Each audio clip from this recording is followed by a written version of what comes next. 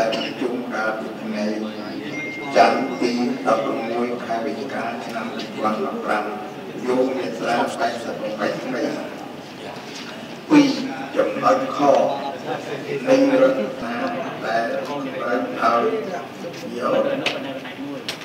អតិភិជាច្រើនបាច់ខាតនៃចំនួនសមាជិករដ្ឋសភា